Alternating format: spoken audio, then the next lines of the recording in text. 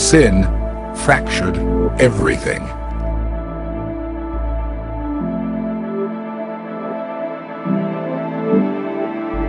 And it left us shattered and broken.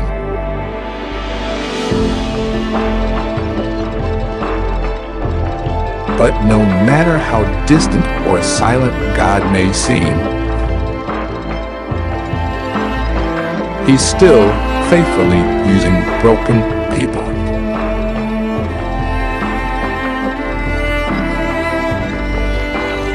To accomplish His flawless plans.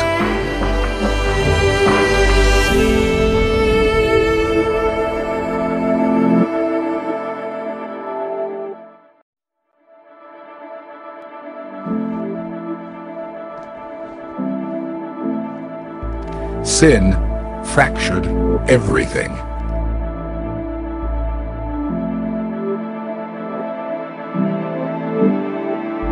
And it left us shattered and broken.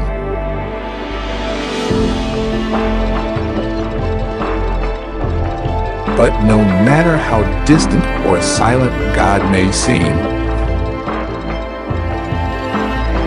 He's still faithfully using broken people.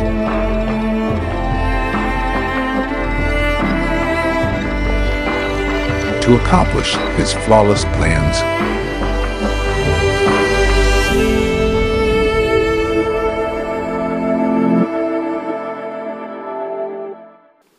All right, if you got a Bible, grab it, open it, turn it on, follow along on screen in your outline, or use the Central Church app. Um, Esther chapter 3 is where we're going to start today. We're going to wind up in Esther chapter 8. Um, we're not going 3, 4, 5, 6, 7, and 8. We're going to start in 3, and then we'll wind up in 8. This is week number 3 um, of our series called Shattered. We've been going through the book of Esther, and we've been talking about how we're a fractured people, um, that we all have broken lives, and, and there are pieces in our lives that God is putting back together because He is the flawless God. So, fractured people, flawless God. And this may be where we wrap up. I'm not sure. Um, we may go one more week next week. Um, I have an idea for what I want to do next week, but I might use that later on in the summertime. Um, so, next week might be a one off message until we jump into um, our next series. Um, today, though, I want to start off by a question because today we're going to talk about.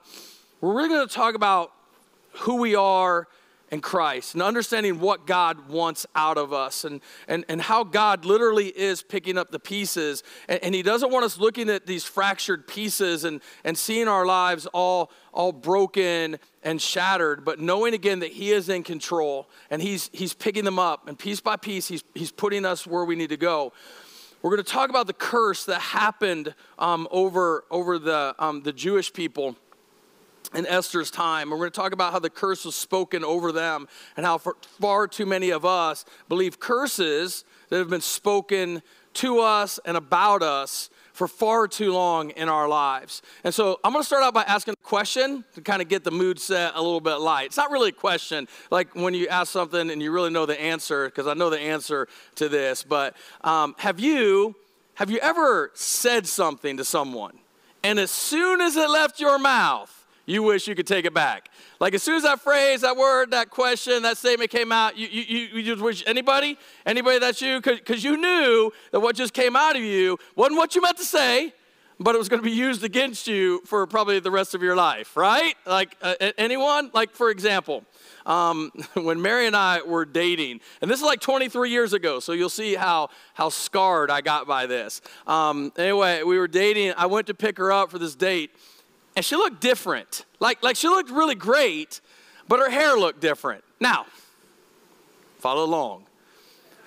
What I wanted to say was, Your hair looks nice. Because that's what I've been taught to say. Be polite, you know, make good compliments. And so, your hair looks nice is what I fully intended to say. What came out of my mouth was, What happened to your hair?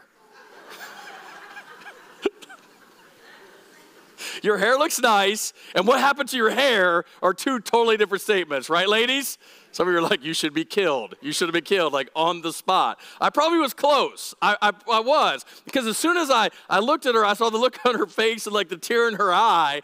I was like, what I meant to say was, and she's like, it's too late. Like, what, what you meant to say already came out of your mouth. And, and that was, that was true, I guess. And all of us, all of us, all of us, all of us have, have, have said something to someone, like a, a brother, a sister, a mom, a dad, a spouse, a kid, a friend, or whatever. And as soon as we said it, we wish we could take it back, right? On the flip side, every single person here today, I don't care what your background is, everybody here has had something said to you that hurt you. You had something said to you by somebody that you cared about or somebody that you still care about, and it hurt you. And one of the biggest lies that we learned from the time that we're kids is that sticks and stones will break my bones, but words will never hurt me. Words will never, I'm, I'm going to go ahead and be honest with some of the stuff in my life that has been said to me and about me. I would have much rather had the sticks and the stones because the pain associated with sticks and stones is temporary, right? You can heal from that. But I don't know about you, I can still remember stuff that was said to me and about me in kindergarten. And that stuff, it hurts. That's stuff that stays with us for a long time. And, and, and there, are, there are some people here today, you, you've never been physically abused, but verbally, you've been beaten for years. And we get beaten by the words of others from all kinds of different sources. For instance, social media. Man, isn't that crazy? Like, I'm not the anti social media guy, but if you go down the rabbit hole of social media and let people that don't even know you tell you how bad of a person you are, or how awful you do things or how wrong you are, that, that's like, man, you just take a beating every time you open up your phone, every time you log on. You take a beating every time you walk into that situation. There's all kinds of places and all kinds of areas where we get verbally beat on. And one of the last places that we would ever expect to get beat is church. But, but don't you, haven't you ever felt like that? Not, not at this church, I'm just saying hypothetically, right? Like, like for me, I remember going to churches growing up and, and just all the time, like the, the, the message was always just like, you suck. Do more. Go home and come back next week if you have fixed everything that you're dealing with. If you haven't fixed it, then you can't come back because you're not good enough and you're not godly enough. And you can't be one of us if you can't act like us and you can't act right. And so eventually I got tired of that because I felt like I got beat up every single week. But then as I began to really read the Bible and discover the Gospels and really what the scriptures say, that that's not God's heart for us. God's heart for us is a blessing, not a beating. Listen, God doesn't want his children to get beat up every week, and he doesn't want you and I to let people who don't even know us to define us. He doesn't want he, he, he doesn't want to speak curses over you. That, that's, that's the point here. God doesn't want to speak curses over you like other people have. He actually wants us to walk in His blessing and in His favor. And so that's what we're going to talk about today in the book of Esther. Because here's what I know we've used this illustration every single week the puzzle pieces, right? The, the picture on the box, this is what we want our life to look like. We want, we want, we want everything to be perfect. And we want people to see this. This is what we want people to see. Knowing the inside, we're broken. We get that. We understand that. We've talked about that every week. We're broken. We know the pieces are going to fall out and they're going to make a great big mess. It's going to be crazy. But we want to look like this. But then the words that people speak slowly began to let it pour out. Here, here's what I want to let you know, though, too, this morning as we do this. I haven't done this in any other services. But I want to let you know But you're not alone. Because everybody sitting around you is broken and messed up too.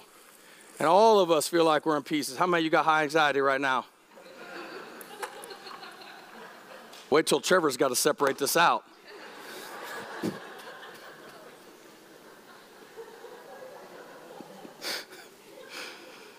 I'm way off on time. This message is way messed up, crazy today anyway. But, but here, here, here's what we, we need to understand. All of us feel like this, right? We want to feel like this. We want to be, we want to have the picture perfect life, but, but, we're, but we feel like this. And the important thing you need to know when we get to the end of this message today is that we're in it together. All of us are in this together. And if you want to be a part of what we're doing here at Central, you need to understand that we're doing it together. We're stepping into being who God has called us to be, and we're stepping into this world together. And so if you're hurting, if there are things going on, man, you're not alone. We're, we're, we're in this with each other. And so today we're going to really talk about speaking encouragement into each other so we can get past the pieces of our lives that have been torn apart by the curses spoken over us. Real quick recap of where we're at in Esther. Esther and Mordecai, the story starts out, they're taken captive from Jerusalem and they're moved over to Persia, and their lives completely fell apart. They're enslaved.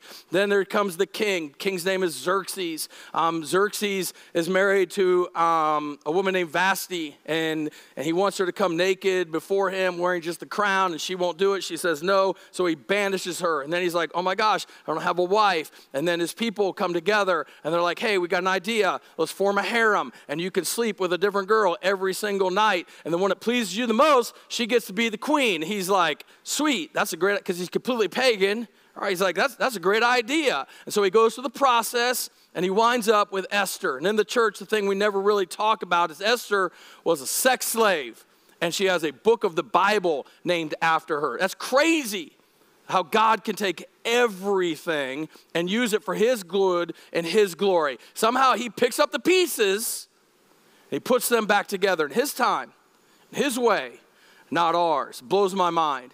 And so that's Esther and Mordecai and Xerxes. And then the really bad guy in the story, his name is Haman. And Haman wanted to kill all the Jewish people because he couldn't stand Mordecai. Mordecai and Esther are Jewish, but they hadn't told the king. And so Haman has the king issue a decree that all the Jews are to be killed. And Mordecai goes to Esther and says, Esther, we're Jews, but we're not telling the king. And, and Haman doesn't know, and nobody really knows. And he says, Hey, if he does this, we're going to be killed. Like, like Esther, you're going to be killed. And you, you've got to put a stop to this because you're the queen. And she's like, I know I'm the queen, but I can't go before the king because if you go before the king and he hasn't summoned you, then he will kill you. And he hasn't even been interested in me in 30 days. And Mordecai was like, Hey, maybe the reason that you're queen Maybe the reason our lives are in pieces, and, and maybe the reason you've gone through everything was God has put you in a position for such a time as this. And so Esther says, You know what? I'll go. And she says, If I die, I die. And she goes in front of the king, and the king welcomes her into his presence. And then last week, we talked about how she prepared a banquet because she wanted to tell the king what was going on, but she didn't tell him at the first banquet. She said, I'll tell you later. I'll tell you what I want later. Come back tomorrow to another banquet. And when we said there's wisdom and the way that Esther approached the king in the situation. And at the end of the day, we found out that wisdom allowed her to walk in freedom. And we, when we saw how God completely took care of Esther and Mordecai, how behind the scenes he really was picking up the pieces, putting them back together. And then we saw that bitterness is what ultimately led to the death of, of Haman. Well, that's where we pick up the story today. There's still a problem, though. This problem was established early in the story. In, in um, chapter 1, verse 19, after, after, um, after Xerxes had banished Vashti or um, going through all of that, it said this as guys had come together and said, So if it pleases the king, we suggest you issue a written decree, a law of the Persians, the Medes, that cannot be revoked. Remember, we said every single week, we said in that time period, once a law, once, once this law was on the books, it couldn't be what? Couldn't be removed, right? Couldn't be revoked. It just couldn't. Once a law was a law, you couldn't remove the law. Um, once it was once it was said, it was done. And, and, by the way, just insert this here: the words that have been said to you and the words that have been said about you, they don't magically go away either, do they? They don't just get removed. They don't just disappear. Have you ever had somebody say to you, "Oh, you shouldn't let that bother you. They're just words." what? Like really? Let me kick you in the face and tell you that shouldn't bother you. Just kick in the face, right? I mean, things that get said to us are always going to bother us, especially when they're said about us and they can't be undone. I wish to God I could unhear and unread some of the stuff that I've heard and read, but I can't. How about you? So, so with that in mind, that, that it can't be revoked, keep this in mind. This was the law that Haman had the king pass about the Jewish people. This is chapter 3, verse 12. So on April 17th, the king's secretaries were summoned, and a decree was written exactly as Haman dictated. It was sent to the king's highest officers, the governors of the respective provinces, and the nobles of each province in their own scripts and language. The decree was written in the name of King Xerxes and sealed with the king's signet ring. Everyone listened to Xerxes back then. Like he reigned uh, over everything. Dispatchers were sent by swift messengers into all the provinces of the empire. Now, watch this. Imagine you're a Jewish person in this time period, and this happens.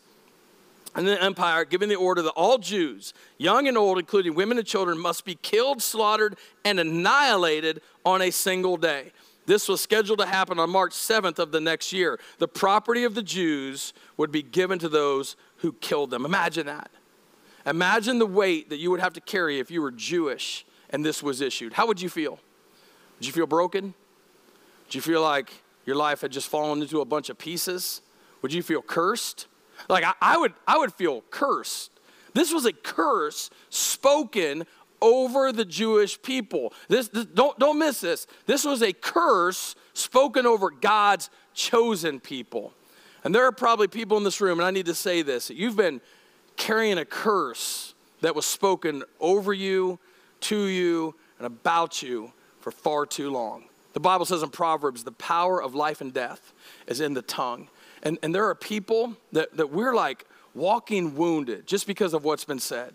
In fact, I think, I think way too many followers of Jesus carry the weight of the curse. I do. I think way too many followers of Jesus carry the weight of the curse, and the weight of the curse crushes us. And, and we feel like we feel like our life is in pieces because of what's been said to us and about us. And we begin to feel like this phrase right here, and, I, and we've talked about this, this phrase before, but it's, I'm not blank enough. Right? Remember I was talking about that? You can fill in that blank with just about anything. I'm not blank enough. That's how we feel about ourselves. And some of us, some of us, we don't even actually have to hear the curse from someone else. We don't have to fill in the blank from someone else. Some of us, the curse is the voices in our head. Some of us, nobody really has to beat us up. Satan started the process many years ago, and we ourselves Negative self talk to ourselves all the time, talk down to ourselves all the time simply because we think it's normal. Like, like, like, like, let's go through some of these. We can make a huge list here, but let's talk about some stuff. I'll start out with one, one that I struggle with um, from time to time. It's this I'm not smart enough. So, somebody said to me this week, um, true story, like, Pastor Ryan, you're so smart. And I laughed out loud because I've never, ever considered myself smart. I was at a conference years ago, and one of the one of the speakers, and I felt like he was looking right at me when he said it. He wasn't, but I felt like it. He said, If you're ever the smartest person in the room, you're in the wrong room. I was like, Sweet. I will never be in the wrong room ever because I'm an idiot. See, that's how you feel when you're in the fourth grade and a teacher calls you stupid. True story. When I was in elementary school, the teachers could actually call you stupid and get away with it. Today they would get fired, right? KCCI would come up and do a great big story about it. It'd be crazy. But back then, a long time ago, in a galaxy far, far away, you could get called stupid by the teacher. And when that happens, you really don't feel smart about anything. How about this one? I'm not pretty enough. I know a lot of women and men who deal with this. I'm not pretty enough. So we go out, we buy the product, or we buy the treadmill, or we get the gym membership, or we get whatever, and it doesn't work, doesn't transform us, doesn't make us into who we think the world is calling us to be and saying that we should be. And because of that, we feel like we're never enough. Or we're in church and we come to a place where, where we feel like we're walking with Jesus and we, we get to a spot where we think, hey, I'm not godly enough. You ever felt like that? You ever felt like you're okay in your walk with Jesus, and you meet somebody else, and that somebody else sees what you're doing, and they point out what you're doing, and, and, and, they tell you that, hey, you're not following Jesus right. You're not going to the right group. You're not sitting in the right chair. You don't have the right Bible. You're not doing this. You're just screwing up. You're, I'm not talking about sin. Like this, that's different when somebody's pointing out sin and correcting you in love, right? Like, like, like that's that's different. I'm talking about somebody telling you stuff that isn't true. It has nothing to do with the Bible and makes you feel like you're just constantly screwing up. They're just beating you down with the curses they're speaking over you, making you feel like I'm not good enough. there are way too many people here today that these are the lives that you believe about you. The curses spoken to us and over us by the enemy. And listen to me, it is not God's will that you and I walk under the curse of the enemy. Listen, don't miss that. It's not God's will. It's not God's will for you and I to walk under the curse of the enemy. It's not his will. Because Esther, like, like think about what Esther does. We saw last week she did the right thing. She went in front of the king, but there's still the problem. The, the, the law, the Medes and the Persians, we just read that, it's still intact, still in order. So they got to do something about it. So in chapter 8, verse 3, we see then Esther went again before the king. Now I want to point something out here before I get really deep into this. We talked about in week one, the very first time that Esther went in front of the king, did, did she want to do it, yes or no? No, the answer is no, because she was worried she'd be killed, right? She was scared, she was timid. But here we see her walk in this thing called confidence. We'll talk about that in a second. Esther went before the king, falling at his feet and begging him with tears to stop the evil plot devised by Haman the Agagite against the Jews. Again, the king held out the golden scepter to Esther. She rose and stood before him. I love, love, love the fact that at the beginning of this story, Esther is scared, but now she's walking in confidence. See, at the beginning of the story, Esther's hiding the fact that she's Jewish because the curse that was issued was spoken over all of the Jews, spoken over God's chosen people. And so the curse was actually spoken over her. But at this point in the story, we see Esther saying in her own heart, I will not allow the curse to steal my confidence. And that's one of the things that I think that we, as followers of Jesus Christ, have got to learn that we will not allow the curse that others speak against us to steal the confidence that we are in Christ. I think there are too many times that we, I'm, this is me, me personally, we have let the curse steal our confidence that we are children of God. We belong to Him. We don't belong to the opinions of other people discussing something on the internet or talking about us behind our back. The people who know absolutely nothing about you, they haven't walked in your shoes. How can we let them talk about us? They haven't lived your story.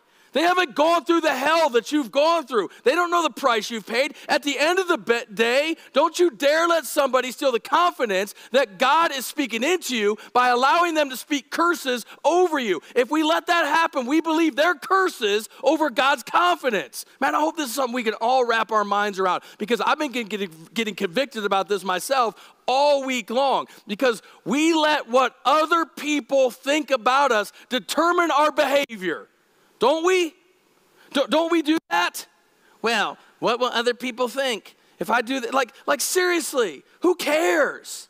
Like, who flipping cares? Listen, if somebody is constantly speaking curses over you, again, not correction, not pointing out sin in your life, not telling you, hey, you're having an affair, you need to knock it off hey, you're, you're, you're, you're doing drugs, you need to knock it off. You're, you're doing that, like, I'm not talking about sin. I am not talking about sin. I'm talking about the stuff that isn't true.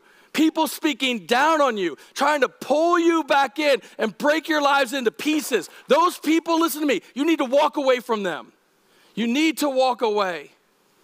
Far too long, we've listened to the curses of other people. And we've allowed that to determine how we're walking with God and how we're taking our steps forward. And for many of you, you're afraid to take your next steps because you're afraid of what somebody else is going to say. Who cares?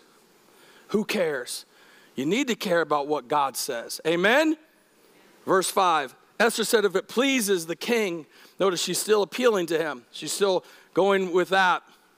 If it pleases the king and I have found favor with him, and if he thinks it is right, and I am pleased in him, let there be a decree that reverses the order of Haman, son of Hammedatha the Agagite, who ordered the Jews throughout all the king's provinces should be destroyed. For how could I endure to see my people and my family slaughtered and destroyed? In other words, Esther's like, we got to reverse the curse.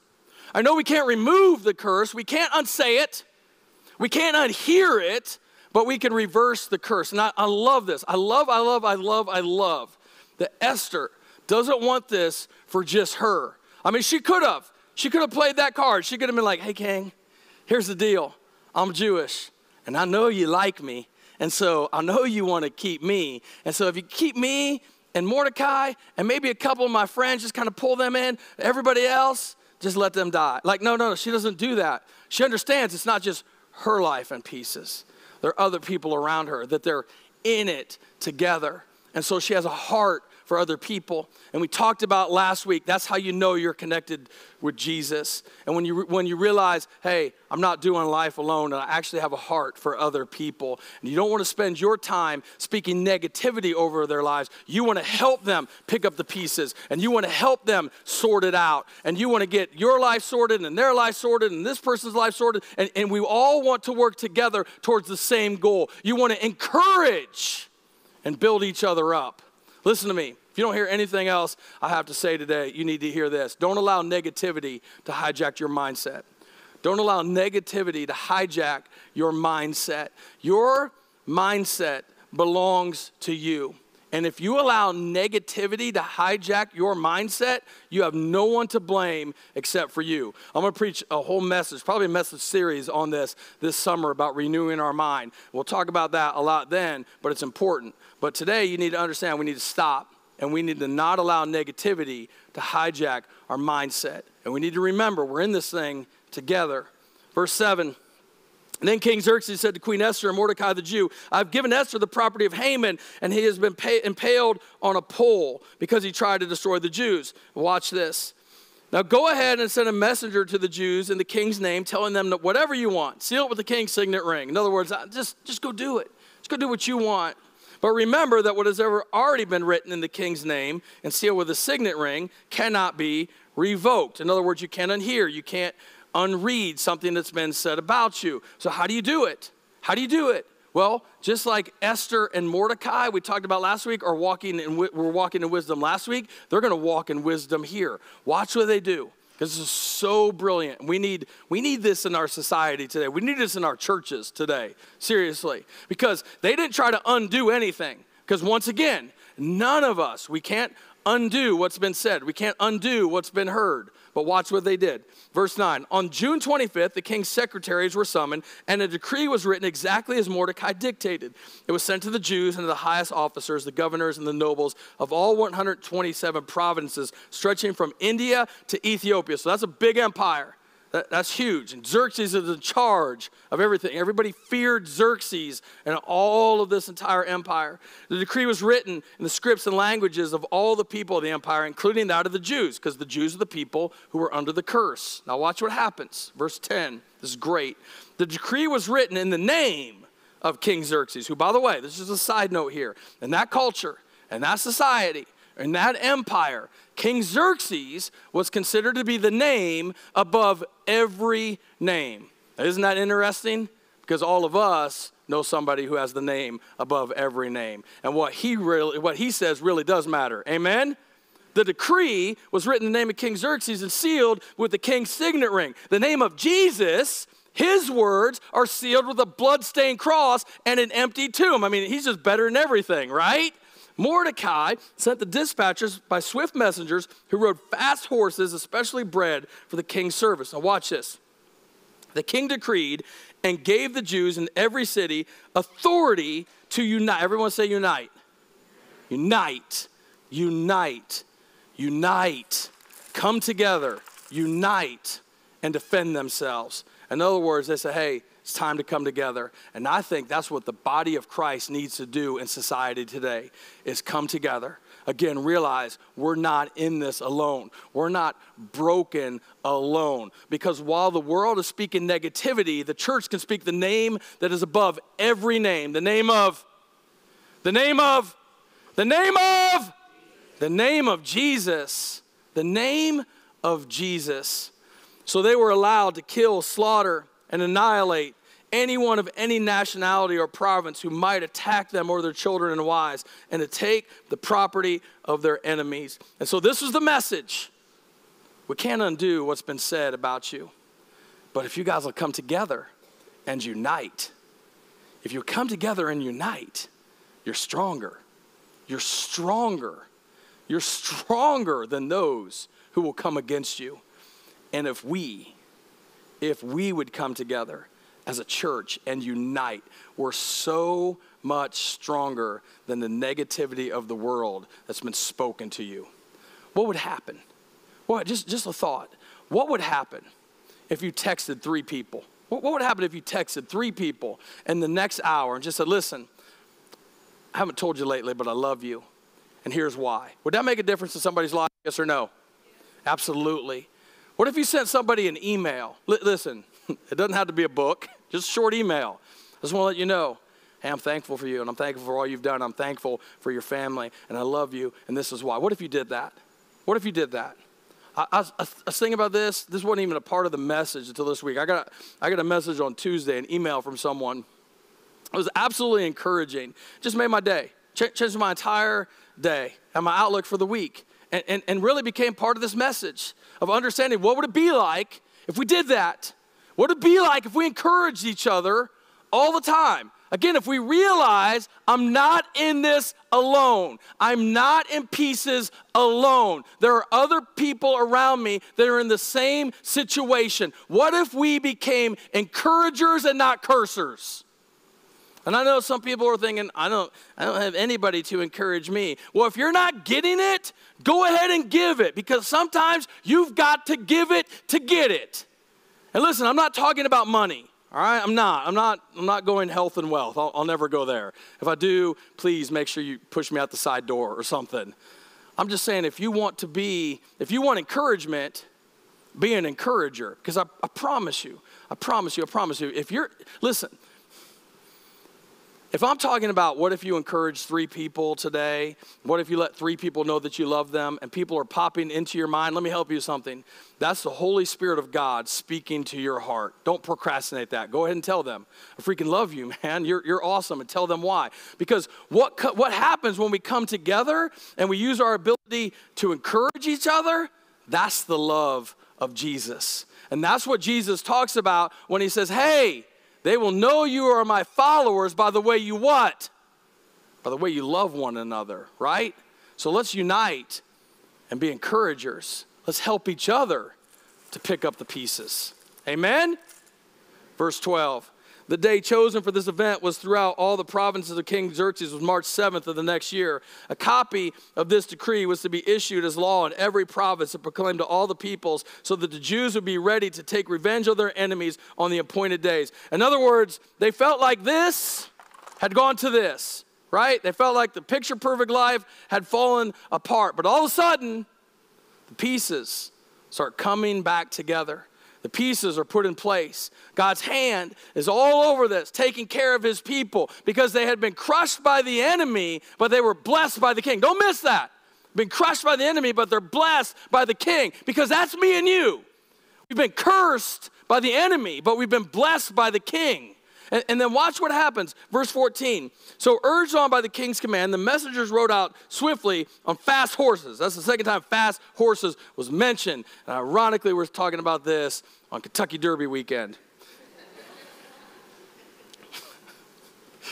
It's crazy though. It's crazy that it says it twice. Because what it shows us is this, this encouraging message has to get out as quickly as possible. We can't wait. We can't wait. We can't just watch somebody. We, have got to step in and we've got to talk and we've got to talk encouragement. Bred for the king's service, the same decree was also proclaimed in the fortress of Susa. Then Mordecai left the king's presence wearing the royal robe of blue and white, the great crown of gold, and an outer cloak of fine linen and purple. Mordecai was on fleek. Do we still say that? I don't, I don't know. And the people of Susa celebrated the new decree. In other words, they're getting excited about it. That's key. They're excited. The Jews were filled with joy and gladness and were honored everywhere. That should describe people who belong to Jesus, filled with joy and gladness, not filled with anger and madness, right? Joy and gladness. That's what we should be known for. Joy and gladness. Listen, if you are a follower of Jesus at the end of the story, no matter how jacked up your story might be, no matter how many pieces you might be holding, you win because you're on Team Jesus. And that's something to celebrate. Amen? Celebrating in this story. In every province and city, wherever the king's decree arrived, the Jews rejoice and a great celebration. That's what our church services should be every single week. A great celebration. Great celebration because God is speaking a blessing over us, not trying to give us a beating every Sunday. And declared a public festival and holiday, and many of the people in the land became Jews themselves. That, that, I think that's insane. Became Jews themselves, for they feared what the Jews might do for to them. In other words, this was the thing, this was a movement because they went from condemnation to celebration. And I think that's what we as a church of people of Christ need to understand is that you are not what the enemy has said about you. You are not what other people have said about you. You are not what the curses that they have spoken over you. you. You are not that curse. You are what God says about you. And when it comes to our salvation, God says you are a child of God. You are unconditionally loved. You are automatically accepted into his family, not because of what you've done, but because of what his son Jesus Christ did. We are saved. And because we are saved, we are his. Not only do we have his salvation to celebrate, but we can celebrate his strength. We can celebrate the strength that God in us enables us to do immeasurably more than we could ever ask or imagine. We have the strength to make it through tough times. We have the strength to overcome, even when it feels like everything is in pieces. We have the strength to help and encourage each other in the times of pieces. We have the strength because the Holy Spirit lives in us. And the Bible says, Greater is He who is in us than He who is in the world. And at the end of the day, we have His assurance where He says, I want to bless you. I want to keep you. I want my face shining on you, and I want my favor on you and over you, on you and over you. So listen, here, here's how I'm going to close this. When it comes to the curses that people speak over you, there's, there's nothing I can say to take away the pain of what you feel for what people have said to you. Can't take away how, how, how much you've been wounded, how beat down you have felt, how ripped apart and in pieces you have felt because of the words of others. But what? What if? What if we paused and replaced the words of others with the words of Jesus? What if we replaced the words of others with the words of Jesus, where he says, May his favor be upon you and your family and your children and their children for a thousand generations? May he go with you because he is for you and he is not against you. He never leaves you, he never forsakes you. What if we began to believe the blessing rather than the cursing? What if? What if? I believe it would change our lives. I believe it would change our attitudes. I believe it would change our churches. I believe eventually it would change our nation. It would change the world if we just knew that His favor was on us, that His favor was on us, and we just believed His blessing what if we really did believe that in His way, in His time, He takes the pieces and He puts them back together? We're going to sing a song called The Blessing together. And I want you to sing this for yourself, and I want you to sing it for those around you, knowing again that none of us, none of us are trying to do this by ourselves. Let's stand and sing.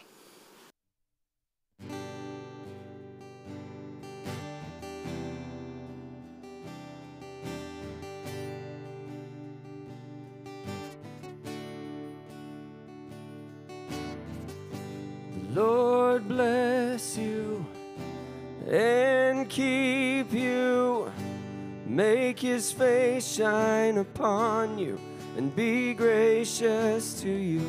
The Lord turn his face toward you and give you peace.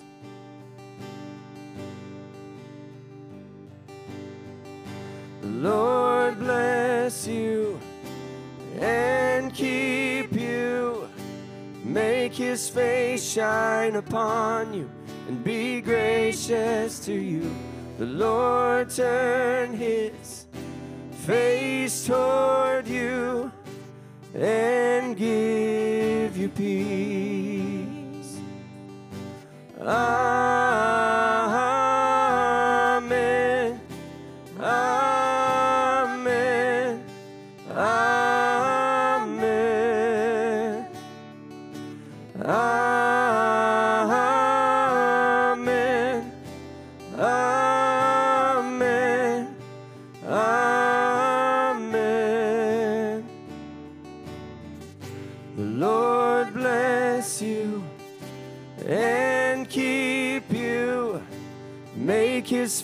Shine upon you and be gracious to you.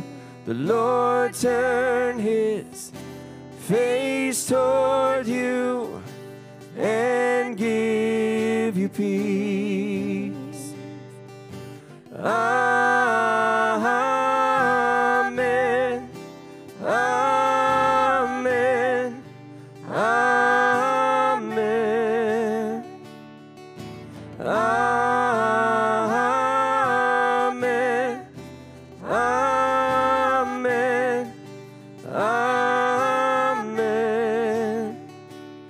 May his favor be upon you and a thousand generations and your family and your children and their children and their children. May his presence go before you and behind you and beside you.